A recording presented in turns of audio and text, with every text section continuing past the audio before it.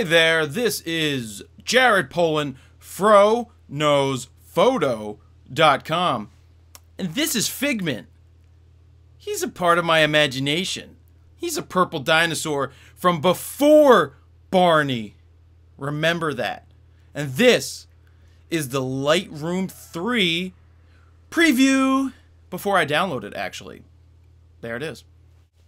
Puff the Magic Dragon.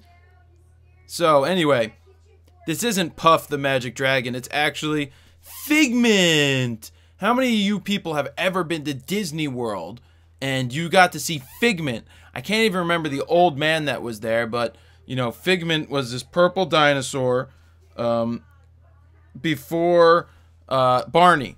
Figment. We love Figment. My brother and I, we, we each have our own Figments. So there's Figment. But why am I here today? Well, that's because Adobe decided to release Lightroom 3, which what I think is a little early, but that's awesome for everybody out there. Um, so this is more of a preview. I'm going to have a hands-on when I download it because I am buying it today. The upgrade, it's $99 for the upgrade, and it's $299 to start fresh and new with Lightroom version 3, which you know is the one of the best softwares out there if not the best software for editing your raw images. And now there are new features. So let's look at some of the new features. Now for some of you noise reduction seems to be a major issue uh, they've added a whole new noise reduction panel to make your noise reduction better in Lightroom 3.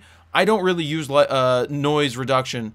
I don't seem to run in it run into too much noise, but that's I guess I'm using the D3S. But I'll even say even with the D2H, which was a 4 megapixel camera, I didn't run into that that much noise. I call it grain. I run into grain when you when you convert it to black and white, it looks like grain. So Let's see, what else? Let's read down the list. Accelerated performance.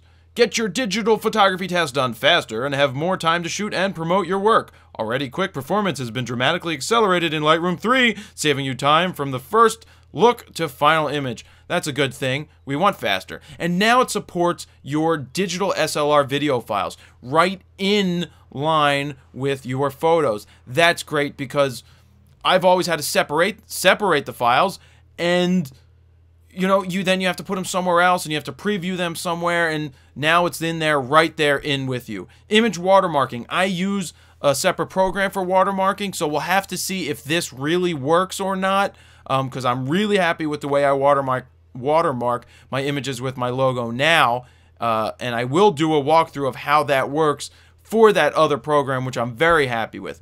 Easy new importing talks about uh, being able to find uh, and locate your images easier and import them easier, which is good for beginners uh, and you guys out there to see how to import those image is, is, is easier.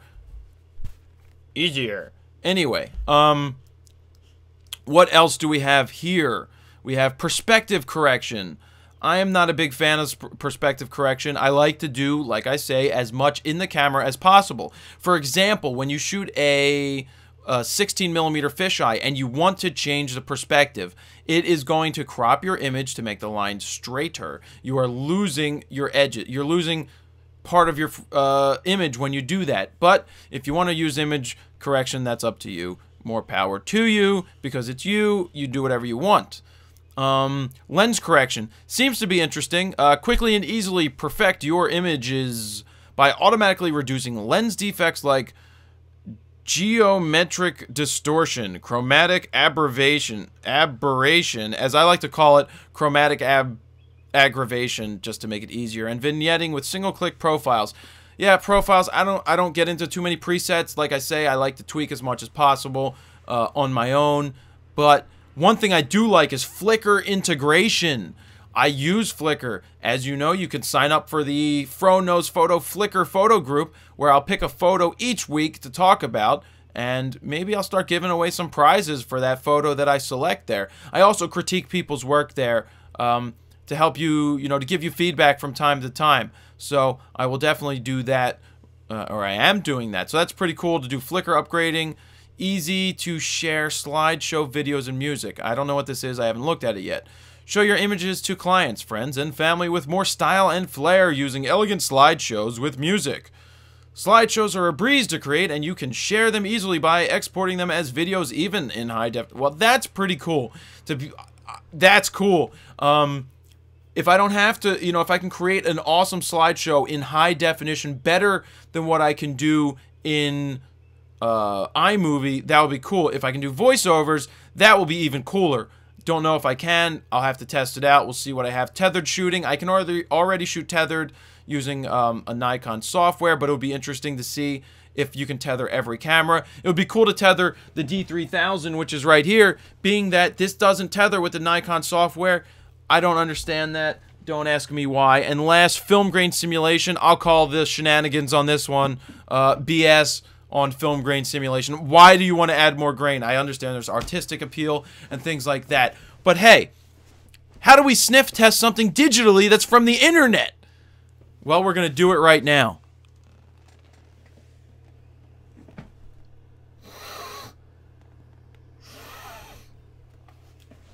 All right, I got it. It smells like megabits. That's right, megabits. Fast moving files across the internet.